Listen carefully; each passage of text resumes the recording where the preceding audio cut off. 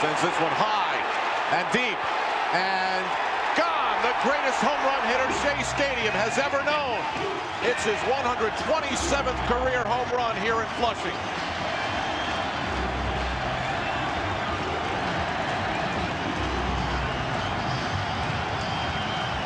Whoops, stop it right there. There's no NY in that apple.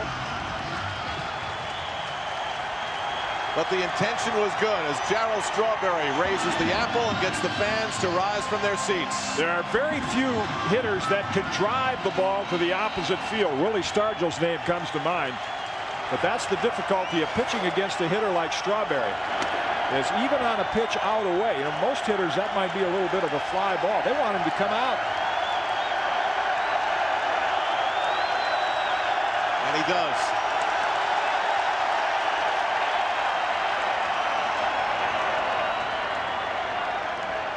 That's the kind of moment you come out to a ballpark for.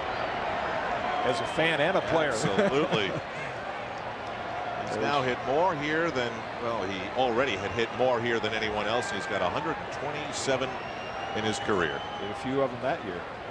Darryl Strawberry to the opposite field showing tremendous power. Now, a lot of left-hand hitters can, can hit line drives out that way or maybe long fly balls, but to drive it, I mean, he drove that to the opposite field like a right-hand hitter pulling the ball. Now they hit the button to raise yeah. the apple and then it got to the logo and they went whoops. Yeah, wrong team.